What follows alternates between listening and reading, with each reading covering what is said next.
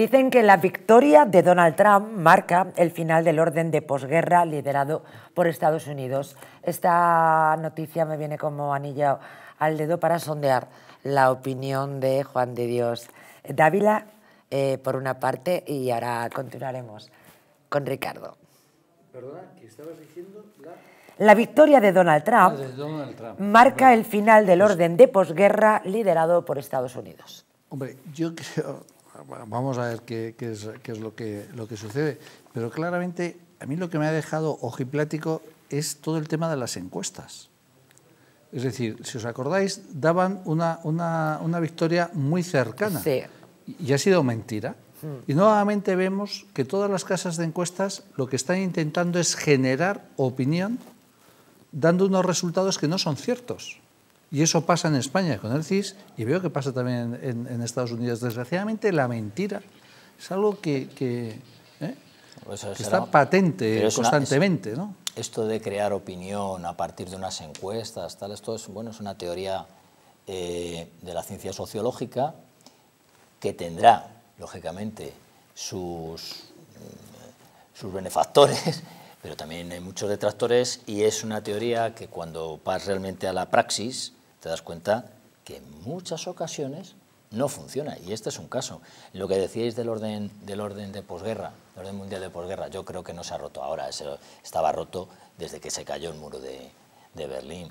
Lo que pasa es que sí que es verdad que ese bloque antiguo comunista se está reorganizando ahora, se están inventando nuevas banderas y también y no es menos cierto, no es menos cierto que hay ciertas personalidades con tendencia a la autocracia o al narcisismo como que se atraen, véase el señor Putin o véase el señor Donald Trump, parece que, que, que tienen mucha afinidad. ¿no? Bueno, yo- Y yo eso- creo que- yo creo que- que es una cuestión más personal o dicho de otra manera, mira, yo voy a poner aranceles en mi terreno. Tú no te metas en mi terreno, que yo no, voy a, no, no, no me voy a meter en nada no ¿vale? puede ser ya. de lo que veas tú por el otro lado. Pero yo fíjate, yo creo que Donald Trump mira más al Pacífico ahora mismo que, a- que al Atlántico. Yo creo que Donald Trump, el, el problema de Estados Unidos está más en China Exacto, sí, que, sí, sí, sí, que sí. en, que en- que en Rusia. O sea, Europa, pues, pues lo que dirá es, oye, pues defiéndete tú misma, eh, paga el dinero que corresponde para mantener un ejército ante las amenazas que tienes, que yo tengo un problema muy gordo, yo tengo un problema muy gordo en China y en el Pacífico, y ahí es donde... Sí, sí. Eh, vamos con una otra noticia. Pérez de los Cobos renuncia a la ejecución de tres sentencias a su favor por su postergación en el ascenso general.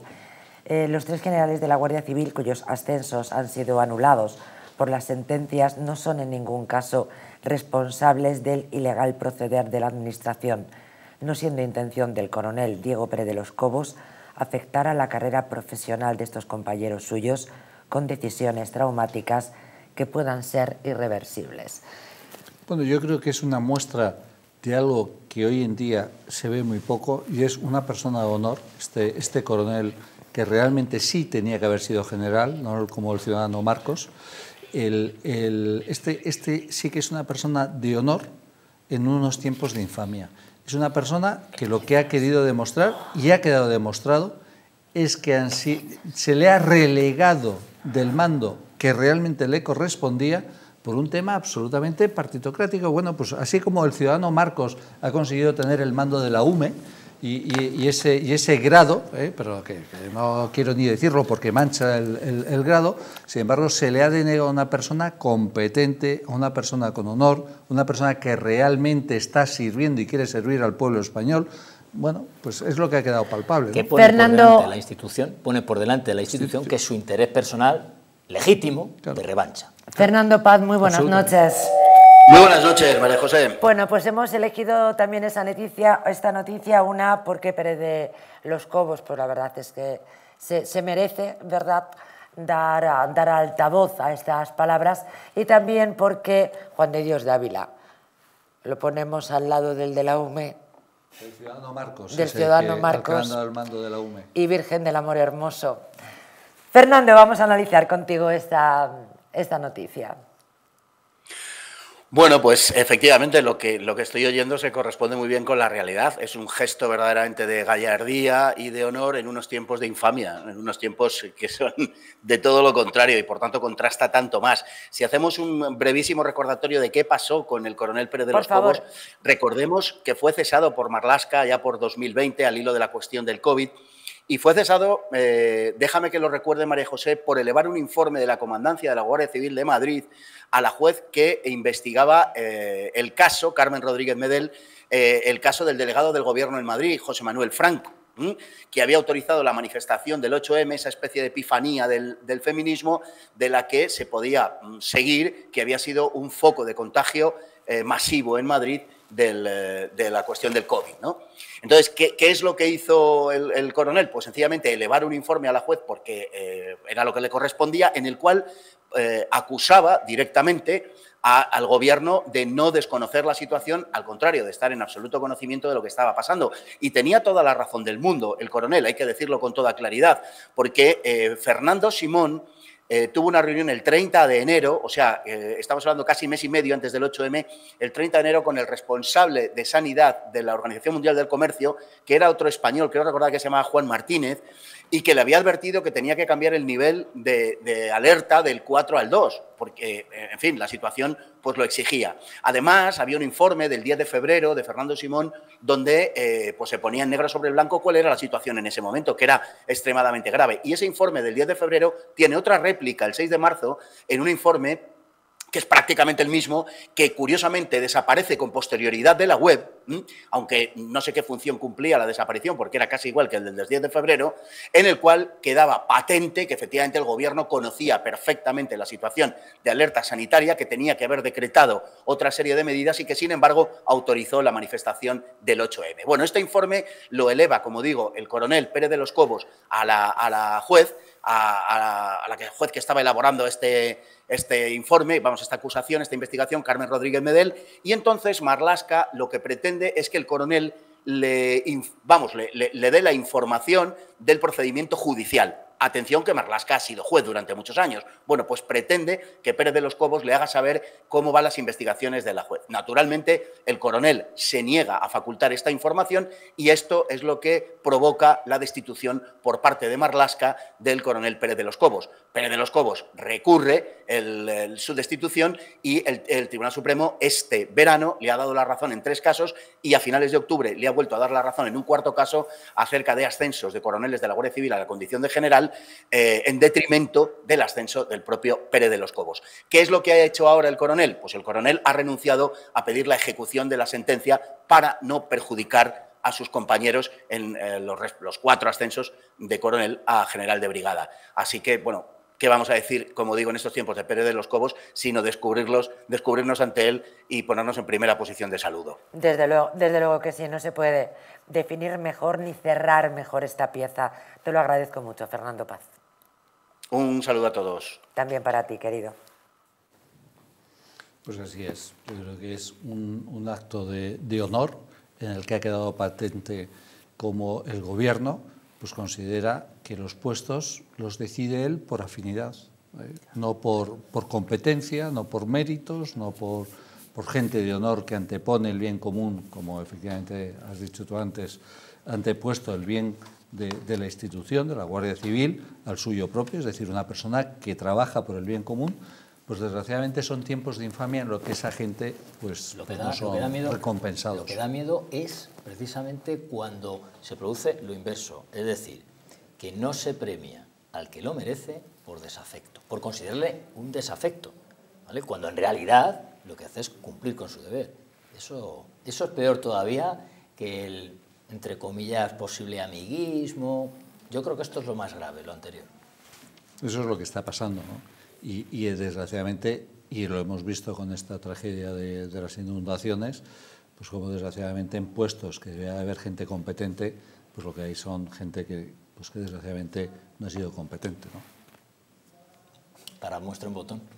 Lo tenemos, La verdad es que sí, hablábamos antes de que llegara Fernando Paz, que había llegado con un poquito de retraso, pero queríamos escucharle. Estamos hablando en este bloque, en este tercer bloque donde tanto se ha hablado, ¿verdad?, de las elecciones en los Estados Unidos, la previa mm, durante toda eh, la noche, el día.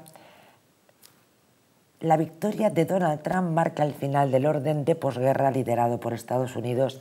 Y la siguiente noticia. Si somos herbívoros, los carnívoros nos devorarán. Macron pide que la Unión Europea se rearme ante el triunfo de Trump. Bueno, yo creo que el, enemigo no es Trump, ni mucho menos, es nuestro aliado. Ahora, que Europa tiene que tomar conciencia realmente de su defensa y no externalizarla en Estados Unidos, yo creo que lo tiene clarísimo y estamos viendo, y el problema no es Trump, el problema es esa inmigración ilegal masiva, que todos sabemos que viene del mundo islámico, que es el que está poniendo en riesgo la seguridad de las calles y la seguridad nacional. Es así. Tenemos un concepto en Europa de que siempre llegará el séptimo de caballería cuando tengamos problemas a rescatarnos. Esto no es así. De hecho, si uno mira la historia, me gusta mirar mucho la historia, ¿eh? Te das cuenta que incluso durante la Segunda Guerra Mundial, los Estados Unidos no declaran en ningún caso la guerra, salvo cuando les atacan directamente los japoneses y posteriormente son los alemanes los que le declaran la guerra a Estados Unidos. Cuidado, o sea, vamos a ver, que es que no vienen a rescatarnos. No, no, no, no, ni tienen por qué. ¿Son nuestros aliados? Sí, pero no son nuestros papás. Tenemos que aprender a que tenemos que hacer inversión también en, defensa. el ejército y en defensa. Macron pide que la Unión Europea se rearme ante el triunfo de Trump. Es una noticia que he elegido para mi querido Roberto Centeno. Buenas noches. Bueno, eh, eh, eh, no sé, si, no te oigo bien, pero creo que lo que me has preguntado es por esta, esta estupidez, vamos, estupidez por un lado y obviedad por otro, eh, que dice el señor Macron. El señor Macron, mm, vamos a ir por partes, eh, eh, yo no sé de dónde a este tío que tiene un ejército moderno, pero un ejército que no ha sido capaz en África, no ha sido capaz de derrotar a las tribus subsaharianas, que le ha querido declarar la guerra a Rusia porque dijo que iba a mandar al ejército francés a luchar contra Rusia. Hay que estar más para allá que para acá. ¿eh? Y ahora, ahora dice que hay que rearmarse, que sí hay que rearmarse, pero no porque haya ganado Trump, pedazo de, pedazo de miserable.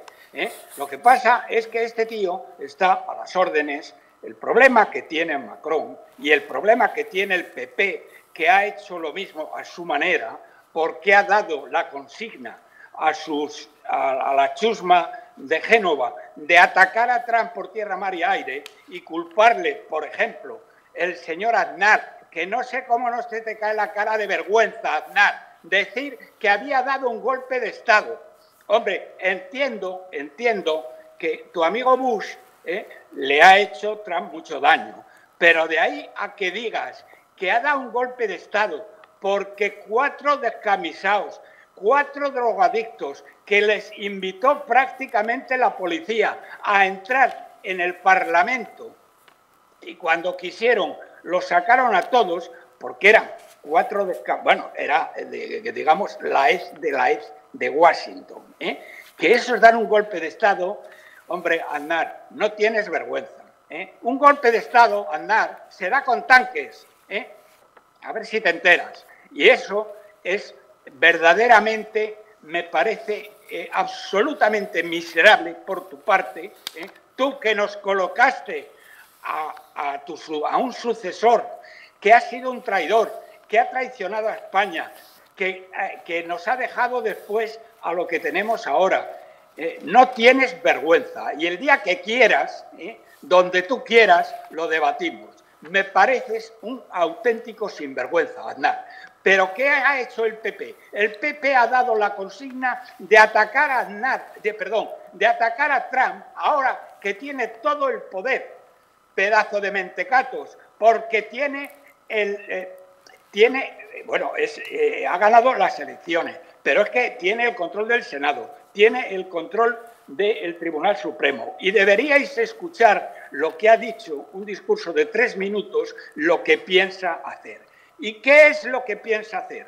Bueno, acabar con lo que lo primero es, primero, que los culpables paguen sus culpas. En el FBI, en la CIA, en el ejército, ¿eh? Eh, habla de que va a hacer una depuración tremenda de los responsables del horror de Afganistán, porque considera un horror que Estados Unidos se retirara de Afganistán. Y entonces, ¿cuál es el problema? Que lo primero, sin embargo, que va a hacer es acabar con lo que se llama el Deep State, el Estado profundo, que es los de la chapita, los de la chapita, la misma que lleva el rey ¿eh? y la que lleva Sánchez. Eh, el otro día, por cierto, no la llevaba en Valencia. ¿eh? Y la que lleva y la que lleváis tantos y tantos del PP. Los de la Agenda 2030. Va a acabar con la Agenda 2030 y eso vosotros no lo podéis soportar. No sé muy bien por qué, porque estáis soportando carros y carretas y estamos soportando los españoles, porque ¿a qué esperáis para echar Amazon? ¿Mm? ¿A qué esperáis para echar a este tío que ahora se sabe que llega tarde a una reunión de emergencia porque estaba con la novia haciendo no sé qué, que es la tiparraca que ha dicho que se ha atrevido a decir que los cadáveres, eh, que ya que no vaya nadie a ver los cadáveres porque ya se los mandarán, porque eso es mucho lío. Don Roberto, don Roberto, discúlpeme, discúlpeme. Em, tengo entendido, tengo, tengo entendido, pero la mejor información la tiene usted seguro. Creo que no estaba con ese ser absolutamente despreciable al que solamente hay que decir que la vida siempre te la devuelve. La vida siempre te la devuelve y algún día ese ser indecente se encontrará frente a las palabras de otra persona que le estará diciendo lo mismo, pero ella será la víctima. La vida siempre pasa factura. Esto es algo que yo he aprendido. Pero creo que Mazón no estaba ese día con, en fin, con este dechado de, de, la naturaleza, ¿no? este ser aberrante al que usted se ha referido, sino que, según creo, estaba, contra, estaba contratando una periodista o comiendo con una periodista. vamos a ver, eh, vamos a ver. La información que yo tengo es eh, la que he dado, pero es irrelevante. Lo que es relevante, eh, lo que es relevante es que estaba haciendo otra cosa, lo que fuera, contratando una periodista, fumándose un puro y leyendo el marca, como hubiera hecho Rajoy, ¿eh? ¿Eh? y llegó dos horas tarde a una reunión de emergencia cuando Valencia se estaba inundando eh, totalmente. Y lo que tiene que hacer el señor, los señores del PP, que están indignados porque va a acabar con la Agenda 2030, porque va a acabar con la guerra de Ucrania y porque va a acabar con eh, la, corrupción y eh, la destrucción de Europa. Porque Europa es que se está destruyendo. En Inglaterra ahora mismo que es, eh, pero bueno, pero está ocurriendo lo mismo, está ocurriendo lo mismo en Holanda y está ocurriendo lo mismo. Yo no sé si hace mucho que no van ustedes, que no van por Bruselas, pero en Bruselas hay calles, yo que conozco muchas ciudades árabes de cuando mm, andaba buscando petróleo por el mundo, ¿eh? Pues que son como, las, como, como, si estuvieras en Bagdad o como si estuvieras en, en la Meca. ¿eh? la, verdaderamente, pero el caso de Inglaterra, el caso de Inglaterra es que la ley musulmana, la Sharia, ¿eh? ya se aplica al mismo nivel que la ley inglesa. Hay el, alcalde de Londres es musulmán. Tenemos que ir terminando, don Roberto. En fin, es decir, todo eso Trump va a acabar, bueno, va a acabar con ello, perdón, no, no, no va a acabar con ello. Va a dar un tratamiento eh, muy diferenciado y muy duro a Europa que considera que, bueno, que están mm, destruyendo los valores más importantes que él está defendiendo. Es decir, Europa está defendiendo los mismos valores que eh, la consigna que ha dado el, señor Feijó. Hombre, es que Cuca Gamarra ¿eh? Ha defendido ha, hecho campaña por, por Kamala Harris, pero bueno, pero Cuca, pero tú estás mal de la cabeza. Primero no te conoce ni su, ni su padre, ni en España y no te digo nada en Estados Unidos. Pero tú qué haces la número dos del PP haciendo campaña por un candidato, pero tú estás loca. ¿eh? ¿Ha habido alguien del, del PSOE que son muchísimo más listos que vosotros, aunque sean unos malvados, aunque sean unos traidores, aunque estén destruyendo España, pero son listos, pero malvados. ¿eh? Pero son mucho más listos. Tenemos que, terminar, don Roberto. Pues terminamos. No hay más que decir. Eh, lo que sí he dicho, lo que sí quiero decir, lo que ha dicho Trump es lo que tenía que haber hecho en el año 16 cuando yo estuve de voluntario eh, allí, que dijo que iba a acabar con todos los malvados, empezando por Hillary Clinton, que no había país que no estuviera dispuesto a bombardear, a invadir, a, cambiar el gobierno si se lo pedía Soros, ¿eh? que va a acabar con todos los que dijo que iba a acabar con ellos y luego no lo hizo. Don Roberto, un abrazo, un abrazo enorme. le, tengo que, le tengo que dejar. Enorme placer, como siempre. Muchísimas gracias. Roberto, Roberto Centeno, ¿qué opinión yo tengo que hacer un par de acotaciones. Vamos a ello, Ricardo. En primer caso, sobre lo que ha hablado don Roberto, los golpes de Estado no hacen falta sacar tanques, ¿eh? y las pruebas las tienes en Venezuela. No hace falta, ¿eh? se pueden dar golpes de Estado, bueno, no te voy a decir con las urnas que se hicieron también aquí en Cataluña, ¿vale? Simulando incluso una votación. De cajas de cartón. Exacto, eso es. Luego, por otra parte, no es menos cierto que Donald Trump, hasta donde yo sé, creo que no condenó el asalto al Capitolio yo no digo que lo organizara, pero creo que no lo condenó. Y eso sí es un problema para alguien que tiene que decir que es absolutamente demócrata. Dicho esto, creo que el problema para España en el triunfo de Trump es que no tenemos una política exterior coherente, que tenemos bandazos, que de repente entra la izquierda y se pone en contra de y rompemos relaciones con Estados Unidos, o nos ponemos ahora muy de amiguitos con Venezuela, etc. Este es el verdadero problema de España, que muchas veces no saben qué bloque está realmente. yo, yo, creo que, que, Trump sí es una persona claramente eh, respetuosa con la democracia, pero además que considera que debe de ser. Lo yo no he dicho que no lo sea, ¿eh? no, no, no, he dicho que debió condenar el asalto al Capitolio. Yo digo lo que, lo que creo, tampoco es que hablo con he hablado con Trump, no, no, pero sí creo sinceramente que es una persona que quiere la, democracia. Lo que pasa es que ve precisamente en toda esta doctrina woke, en todo este tema de ideología de género, que está deshaciendo lo que eran los principios fundamentales de Estados Unidos y lo que está deshaciendo también los pilares fundamentales de, Europa. O sea, es una doctrina, es un fanatismo climático en el que pues, un perro está por encima de la vida de un ser humano que... Los perros, son, los perros son importantes, los animales son importantes y te recuerdo que mm, eh, la Iglesia además así lo reconoce. Pues, ahí, ahí estoy tocando un tema sensible contigo. Muy sensible, no vayas por ahí. que los animales, pero es, es, una doctrina en la que está diciendo, oye, que la realidad no es la verdad, la, la verdad es lo que yo siento.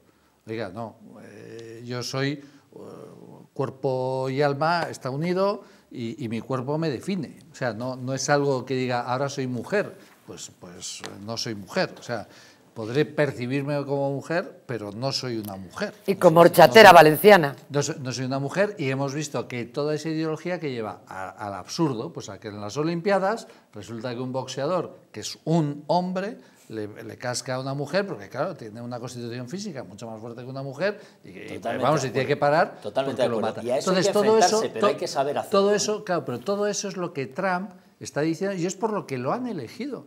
Porque están diciendo, hay una población mayoritaria en Estados Unidos que dice, oiga, es que toda esta doctrina de ideología de género, del wokismo este que me están dando, está deshaciendo a la sociedad. Están pervirtiendo a los niños en los colegios. Entonces dicen, oiga, no, esto hay que pararlo. La sociedad americana tiene muchos, eh, muchas aristas, muchas caras. Por una parte tienes toda la, comunidad hispana, que ha votado a Trump. Que eran, son inmigrantes. Efectivamente. Pero los inmigrantes que trabajan. bien, pero te quiero decir, a ver, que es que cuando, se, cuando a la gente le llaman, no, es que este es racista. Bueno, un momento que le están votando la gente de una etnia concreta, que son los que siempre han estado eh, masacrados por el racismo. O sea, a lo mejor no, es que eh, usted puede acusar a este señor de lo que sea, pero los que usted pone como víctimas no le ven como agresor, por lo tanto no es agresor. Yo creo que eso, eso ha quedado claro. Y luego lo que estábamos hablando hace un momento, oiga, es que usted por sacar las encuestas que quiera, no, usted, no va a ganar. O sea, es como está ocurriendo ahora mismo con el azúcar, no sé si os habéis dado cuenta, pero es una cosa similar. Yo voy a tomarme un café y me ponen unos azucarillos, unos cada vez más pequeños, porque lo que te están diciendo es que el azúcar es mala. Ya, pero es que a mí, como me gusta el café con azúcar y dulce. Déjeme en de- paz, no, no, no, déjeme en paz. No, es que no voy a- es que les pido tres azucarillos. Entonces, ¿qué es lo que están haciendo? Están tirando el papel. Póngame el azúcar que ponen antes en un azucarillo y seguro que consumimos hasta menos papel. Pues esto es un ejemplo muy similar a lo que te, a lo que te quiero comentar, ¿no? Es, es evidente. Aunque la próxima semana, naturalmente, eh, se hablará de esta noticia en este programa, seguro. Que Jesús Ángel Rojo lo toca el lunes, una noticia que he leído recientemente. Y para terminar un poco el programa, como lo hemos empezado, ya saben que me gusta el cierre circular, que en oratoria dicen que es el cierre perfecto. Hablamos de mm, Hablamos de eh, Valencia, de la gota fría, del desastre y del rey.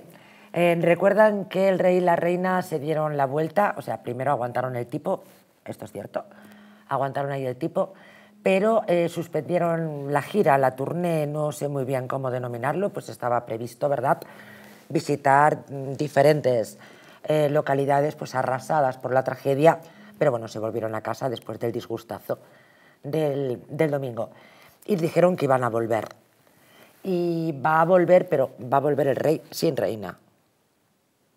A Valencia, sí, por eso lo estoy contando. Por eso digo que el lunes seguro que en este programa se va a hablar de este asunto, pero que yo ya se lo voy avanzando.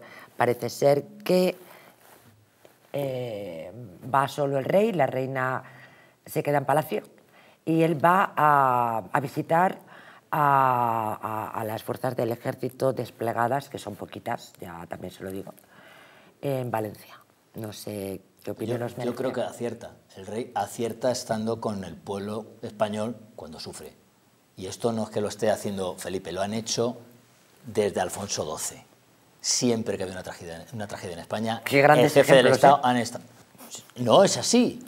A ver, escúchenme, ¿no? Que sí, No, que sí, que sí. que es que la- la- eso es historia, está ahí. Luego Tarde- podemos, tarde podemos piace. opinar lo que, lo Tarde queramos. Pero es así, es donde tiene que estar. Y no es responsable el monarca ni la corona, son responsables de las negligencias que hayan podido causar precisamente los responsables que sí que eran a los que les tiraban el barro. Eso lo tengo meridianamente claro. Si, si el problema... Y además fueron los que dieron la cara. Y es además que- fueron los que abrazaban a la gente. Sí, sí, ¿sabes cuál es el problema? Que tenemos un gobierno, gracias a ETA, EH Bildu, a golpistas que quieren deshacer y trabajar por deshacer España, que imponen una legislación en la que la gente, oye, que quiere a España, que quiere fortalecer España, pues resulta que si, oye, cumplo con la ley, al final me van deshaciendo España y parece que me tengo que callar. ¿A qué quiero decir?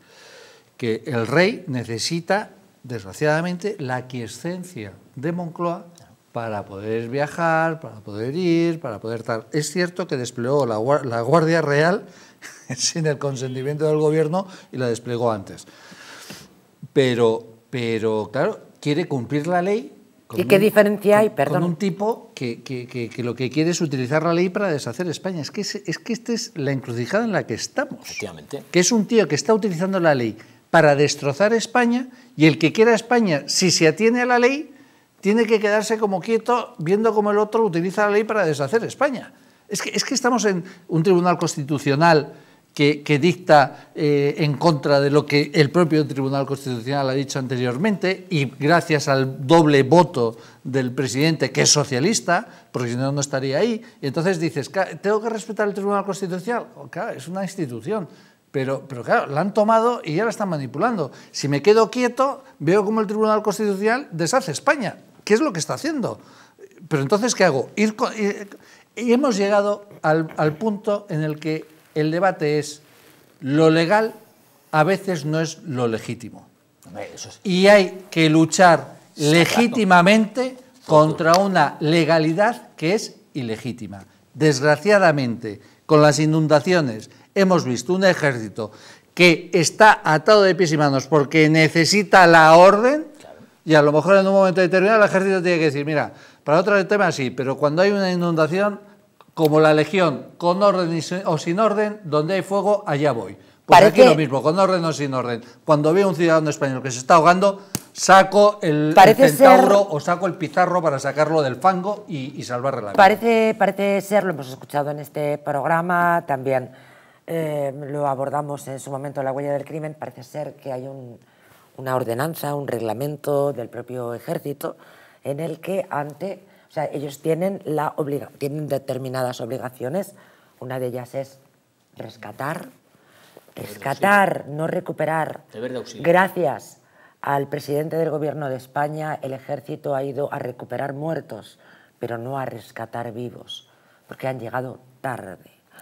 Pero parece ser que efectivamente tiene una serie de obligaciones el ejército y esas obligaciones que tienen que ver con eh, rescatar, proteger, evitar el pillaje, porque luego hemos visto, ¿verdad?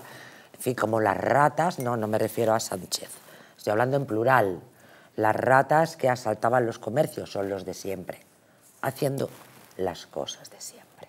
Tampoco nos vamos a extrañar. Bien, pues parece ser que eh, el ejército no necesitaría orden alguna para tomar esa decisión. La decisión de actuar, de salvar a, em, pues salvar a las personas que pueden morir, evitar el pillaje, proteger a la población en un estado de Yo alerta entiendo- y de emergencia. yo que eso Yo es- hablo, mira, Guillermo Rocafort, estaba intentando recordar, Guillermo Rocafort Buen amigo mío. explicó, a mí me encanta además, eh, explicó detalladamente en este y en otros programas que yo eh, lo he seguido y de pronto mm, me quedé así y dije, caray, pues si el, ejército, dentro de esta, esta ordenanza, discúlpenme si no estoy diciendo la, la palabra eh, correcta, eh, hablo de, de ordenanza, efectivamente permite al ejército, que a mí me cuadra, ¿eh? Oye, el ejército está viéndome a la gente, pero ¿qué hacéis los soldaditos del amor cruzados de brazos? Oiga, un poquito más de seriedad, el ejército español. Yo me preguntaba, si esto es verdad, ahora imaginemos, esto es para despedir el viernes, ¿eh? ya se me ha ido a mí la cabeza. Imaginemos por un momento que el rey, que naturalmente no, tiene, no, no debe, le estaría yo metiendo en un lío, olvídenlo, pero ahora imagínense, por favor, en, en- en- la situación de desnudez que vivimos, de desprotección con este gobierno canalla, miserable, nos ha dejado tirados, ha dejado morir a- a- a nuestra gente. Ahora imaginamos que el martes el rey dice, ¿cómo? Capitán general de los cuatro ejércitos, vamos para allá. Vamos para adelante como los de Alicante, nunca mejor dicho. Vale, estoy diciendo tonterías, pero es viernes. Y viernes noche, las 12 casi. Bueno, pues ahora imagínense, ¿quién se atreve? Y, y salva vidas el rey. Se va con sus cuatro ejércitos, entra en Valencia, claro, esto no les gusta más de uno. Y claro, imagínense, se habrían restablecido las comunicaciones, habrían salvado a muchas personas que hoy están muertas, eh, ya naturalmente estarían limpias, no habría epidemias, habían hecho puentes porque ellos pueden hacerlo todo. Y ahora decir, ya, pero el rey no tendría que haberlo hecho. Vale, ya me callo, es viernes. Probablemente no podría. ¿Que no podría? no, aunque dé la orden, no. ¿A que no le van a obedecer? Es que la orden de los ejércitos la da el presidente del gobierno. ¡Qué horror! Esta Pues es- entonces no vale la pena ni tener ejército. No, no, merece- claro que merece la pena. Lo que pasa es que nos han llevado a esta tesitura. Es en absurdo, el que ¿no? tenemos un gobierno que gobierna con golpistas que han querido destruir España y quieren hacerlo, con terroristas de ETA, de ETA. Otegui ha sido condenado por secuestro, ha estado en la cárcel por secuestro. Etarras, terroristas, está gobernando gracias a ellos. Están en un gobierno disolviendo España. Nos han puesto en esa tesitura. Eso es lo que se está produciendo. Pues es una Le han verdadera- dejado a se- morir ahogados a Eso ciudadanos españoles, sabiendo que los podían salvar. Eso es el gobierno de Pedro Sánchez. Exactamente. En esa No, no. situación nos han puesto. No nos equivoquemos, ¿vale? Mazón solo es un inútil. En fin, em, para que no no perdamos fue- de vista, Yo no he puesto a nadie le pongo epítetos. que no, que no perdamos de vista, por favor, eh, que el responsable de todo esto es el presidente del gobierno, aunque el otro papanatas andará por ahí o con su novia, o con una periodista, o con no sé quién comiendo. Eh, pecata minuta. Bueno, señoras, señores, perdonen, ¿quién hubiera afeado al rey si el martes por la noche se lía la manta a la cabeza y dice, vamos? quién en estos momentos afearía al rey su decisión. Vale, sarta tontería que he dicho. Insisto, es viernes. A mí me hubiera parecido un acto de proeza y, por cierto, si hubiera ganado el reinado, como se lo ganó su padre con el 23F, con independencia de lo que haya bajo las alfombras. Queridísimo Juan de Dios Dávila, muchas gracias. Muchas gracias a vosotros, María José. Pero Juan de Dios podría haberlo, le habría feado a alguien algo si toma esa decisión tan brutal. Pues mira, yo desde luego habría salido a la calle a vitorear Y yo. al rey, y a todos. mi rey y al ejército. Yo que no vitoreo ni de coña, vamos. Pero sí, sí, lo hubiera hecho. Es Ricardo Ruiz. Qué gusto, muchas gracias. A vosotros. Nos vamos, pero bueno, es fin, de, es fin de semana. Les vamos a desear que disfruten muchísimo porque, caray, hay que ir compensando, ¿verdad? Y les voy a recomendar Colacel Antiox porque las arrugas superficiales, la flacidez o el descolgamiento de la piel son síntomas evidentes del envejecimiento, un proceso que a partir de los 40 años se acelera al reducirse la producción de colágeno en nuestro organismo. Colacel Antiox de Mundo Natural es un complemento alimenticio que aporta colágeno hidrolizado puro de alta absorción, antioxidantes, vitamina C, que es una vitamina esencial que contribuye a la formación de proteínas de relleno de la piel, como el colágeno, la elastina, la tropoelastina o el ácido hialurónico. Gracias a su completa composición, un sobre al día de Colacel Antiox produce el mismo efecto que tres envases de otros productos similares. Confía en Colacel Antiox mucho más que colágeno. De venta en tiendas especializadas en el 914 460000 y en parafarmaciasmundonatural.es. Buenas noches, señores. Feliz fin de semana. El lunes aquí a las 10 todo el mundo eh, preparado. Eh, va a ser una semana de televisión realmente apasionante. El lunes aquí estará Jesús Ángel Rojo. Buenas noches a todos.